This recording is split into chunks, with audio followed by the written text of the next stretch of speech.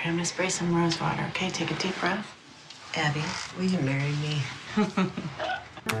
What's up?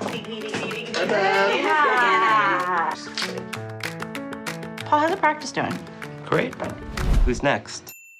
No one today. Calzone is not the same as a hot pocket. I'm gonna prove you wrong, and you're gonna owe me. How's the apartment search? You found something? Not yet. Why don't you just move in with me? What time's your first victim? Oh, 10 minutes ago.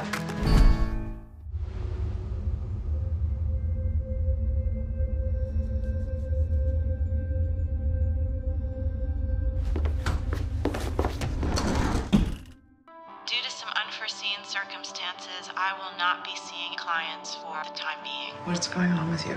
I don't know. I feel really weird. Hey, Jesse. Wow, that is not a hot pocket. God, you, you really didn't. No, it's nothing. It's totally not anything, you know. You should get Reiki done. Just climb on up here and get comfortable. That looks actually really comfortable, but I should have been more specific. Chesney asked me to move in with him. I don't want him to touch me. I can't connect. Why don't you come over here and I'll give you a back rub? I don't know. Hi.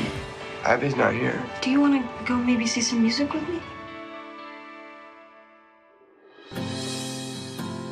Have you ever wanted to kiss someone so badly that it hurts your skin? I mean, you know I love Abby, right?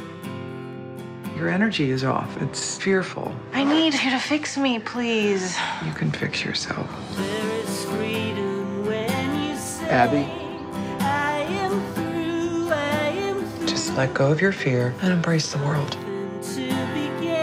He says you cured him. Thank you. Oh, Look what you are doing for people. Something beautiful happened.